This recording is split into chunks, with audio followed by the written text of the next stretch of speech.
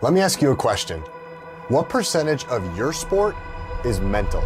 The game of hockey is 90% mental and the other half is physical. Tennis is 70% mental, and I really believe that. I think it's 90% in your head and it's 10% of your physical attributes. Probably 95% of what the game is. It's the mental skill that makes somebody that's good great or makes somebody that's great the best.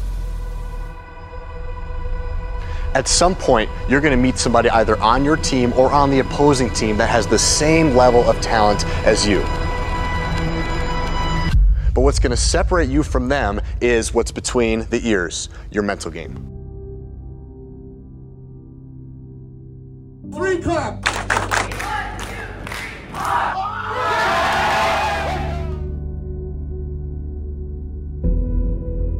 In order to have an elevated mindset, you need to start to see adversity as your advantage and see failure as feedback.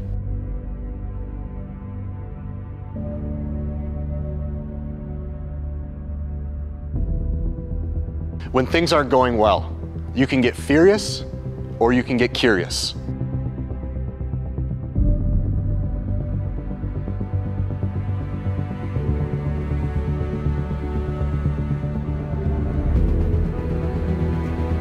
You can become furious, start throwing your things around, and have a temper tantrum. Or you can take the curious approach and start asking better questions. How did I get here? What can I do better next time? What did I learn from this experience? If you or your team is looking to attack the gap between where you are now and where you want to be, contact me at dj at djhillier.com, and I look forward to partnering with you.